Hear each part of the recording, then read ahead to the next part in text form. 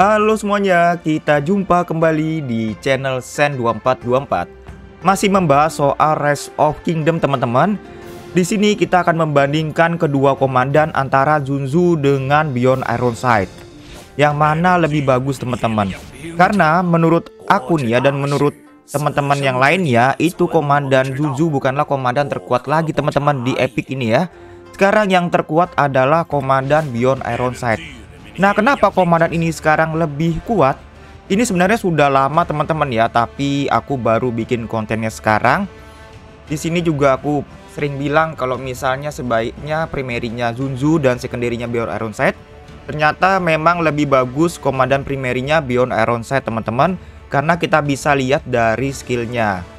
Kita lihat dari skillnya dulu ya. Dari skillnya ini setelah di expertise, kalau belum expertise sih sebenarnya peningkatan serangan skillnya sebesar 10% teman-teman selama 3 detik. Tetapi setelah expertise meningkat menjadi 15% dan serangan kamu menjadi area kedua musuh. Kalau dari damage factornya sendiri sih nggak begitu istimewa teman-teman, hanya 700 ini kedua target ya bisa dibilang lumayan tapi nggak begitu besar.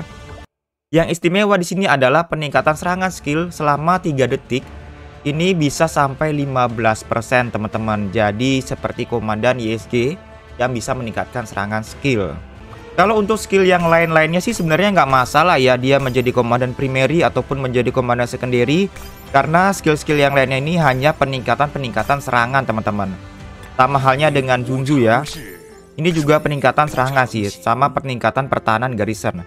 Nah sekarang kenapa komandan Bior Iron sebaiknya menjadi komandan primary karena di sini kalau misalnya Zunzu sebagai komandan secondary itu nggak masalah teman-teman karena skillnya tetap bisa aktif.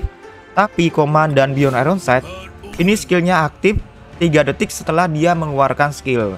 Kita tahu kalau misalnya kita menyerang musuh yang pertama kali keluar skillnya adalah komandan primary terlebih dahulu, barulah komandan secondary teman-teman. Nanti kita akan tes ya di sini. Dan yang kedua, kenapa komandan Beyond Ironside ini lebih bagus jadi primary? Kalau kita lihat dari serangan skillnya sebenarnya lebih bagus serangan skillnya dari Dunzu teman-teman. Ini bisa ke 5 target dengan serangan vektornya 800 apabila sudah expertise teman-teman ya. Kalau belum expertise sih serangannya 450 tetapi ketika expertise meningkat dua hampir dua kali lipat menjadi 800 teman-teman.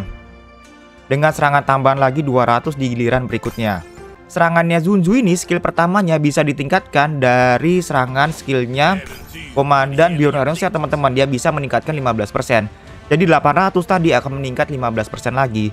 Dan kemudian talent komandan yang dipakai adalah talent komandan primary teman-teman ya. Kalau kita lihat dari talent komandan di sini ada All for One bisa meningkatkan serangan skill komandan secondary sebesar 6% teman-teman. Tapi di sini kita cuma bisa meningkatkan serangan skill diri kita sendiri sebesar 3% teman-teman. Jadi otomatis yang meningkat lebih besar adalah komandan sekunderinya sebesar 6%. Nah, maka dari itu, talentnya dari Zunju kalau misalnya jadi primary, dia tidak bisa menikmati talentnya for One ini karena dia sebagai primary pastinya akan dapat yang tactical master ini. Makanya sebaiknya memang komandan Zunzu dijadikan komandan secondary aja teman-teman dan kemudian komandan Bior Aruset sebagai komandan primary. Di sini aku memaklumi kenapa banyak yang pakai Zunzu karena kalian pada rata-ratanya di sini ya awal bermain mengambil peradaban Cina dan otomatis mendapatkan komandan Zunzu. Dan komandan inilah yang kalian tingkatkan. Sehingga kalian agak lambat buat meningkatkan komandan Beyond Iron Set. Tapi ketika kalian mendapatkan Beyond Iron Set, kalian bisa menggunakan komandan ini sebagai komandan primerinya. Kita di sini akan tes melawan Barbarian dulu teman-teman ya. Oke, yang pertama-tama kita akan coba Zunzu dengan Beyond Set. Jadi Zunzu primerinya, Beyond sebagai sekunderinya. Kita di sini mau lihat serangan skillnya aja teman-teman. Jadi yang pertama keluar primary dulu serangan skillnya, yang kedua adalah sekunderinya. Setelah reknya ini penuh.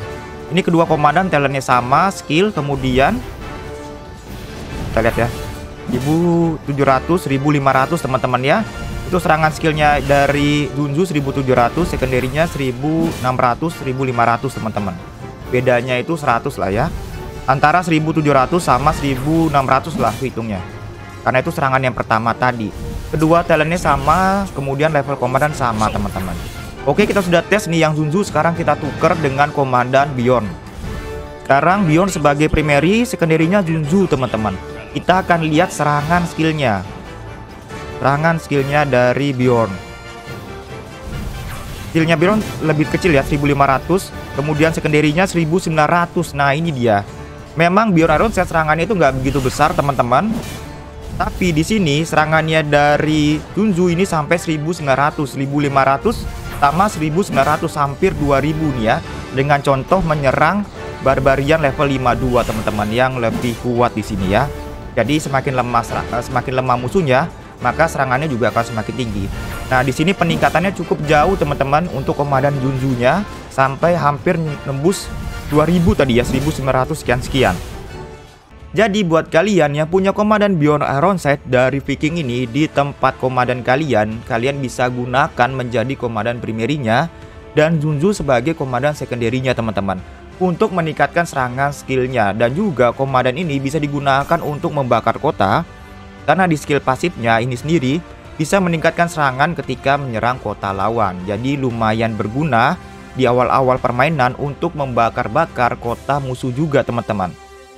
Dan sampai sinilah tutorial aku tentang komandan Bior Set dengan komandan Junzu yang mana yang lebih bagus sebagai primary dan ternyata yang lebih bagus adalah komandan Bior Set.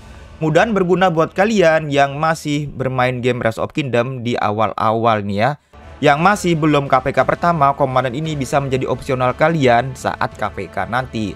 Buat kalian yang ingin cari tutorial Rest of Kingdom yang lainnya yang pernah aku buat, caranya mudah, kalian tinggal klik aja nih logo channel Channel Dompat, kemudian pilih playlist, kemudian pilih tips dan trik Rest of Kingdom.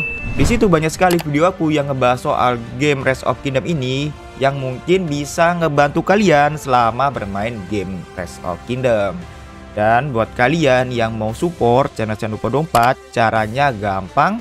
Kalian tinggal klik aja tombol subscribe di channel channel Dompat dan lonceng di sebelahnya untuk mendapatkan notifikasi video terbaru dari aku. Dan juga kamu bisa bantu aku yang ada di atas ini. Like video ini dan share ke sosmed kalian. Aku ucapkan terima kasih telah menonton. Sampai jumpa kembali kita di video berikutnya.